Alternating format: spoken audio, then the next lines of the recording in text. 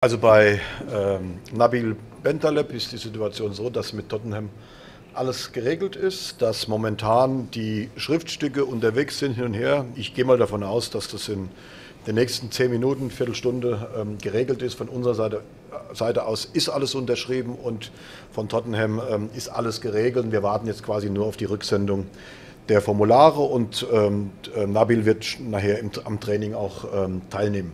Bei äh, Benjamin ähm, Stambuli ist die Situation so, dass mit Paris auch alles ähm, geklärt ist. Ähm, er derzeit beim Medizincheck ist, ähm, sollte das alles gut über die Bühne gehen und die notwendigen Papiere dann auch ausgetauscht sein, spricht eigentlich am Training äh, später auch nichts ähm, entgegen.